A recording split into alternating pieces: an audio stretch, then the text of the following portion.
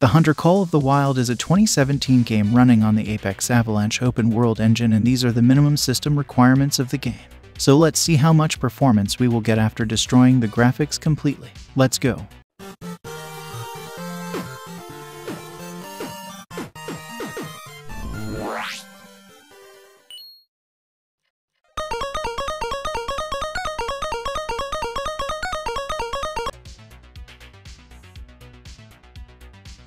These are the lowest preset of the game and the resolution is at 720p.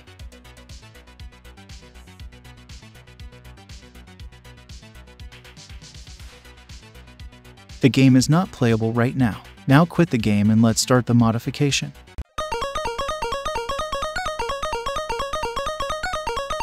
The configuration file of this game is located inside your Documents folder, Avalanche Studios, the Hunter Call of the Wild, Saves, Settings, this folder, and the file called settings.json. The sad thing is that there is nothing to do with this file, so I highly recommend you to use NVIDIA Inspector for advanced tweaks. Now you can follow me carefully.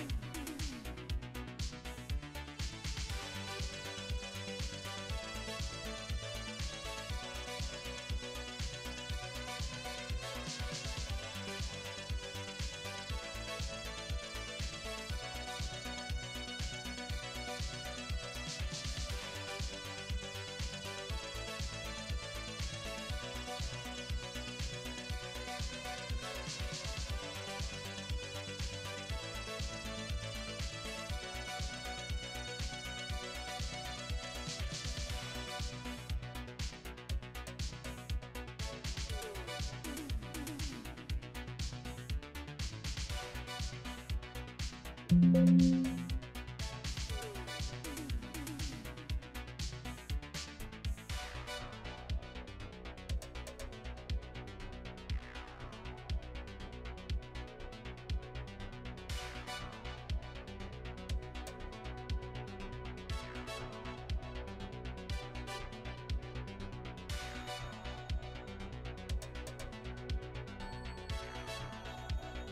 That's it and now you are good to go.